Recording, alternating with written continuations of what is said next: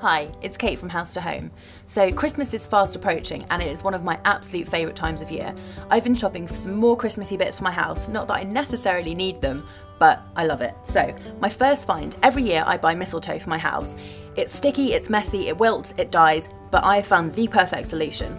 So this is a Scandi Chic hanging mistletoe twig from the Lifestyle Boutique. It's £25, so you're never going to have to buy fresh mistletoe again and I absolutely love it. I think it's super cute, super practical, and I'm going to hang it in my hallway so no one can escape a Christmas kiss. The countdown to Christmas is really, really important in our house, and every year we have a different advent calendar.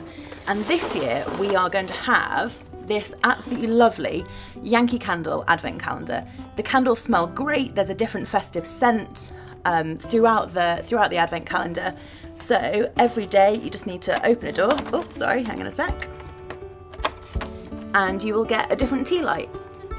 So it's from Yankee Candle, it's £21.99 and to be honest I think we're going to put it above the fireplace.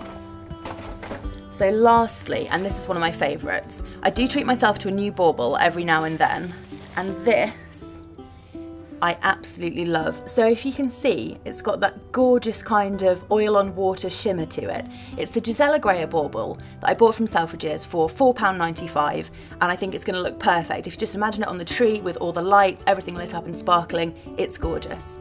So they're all my Christmas buys, but enjoy the festive season.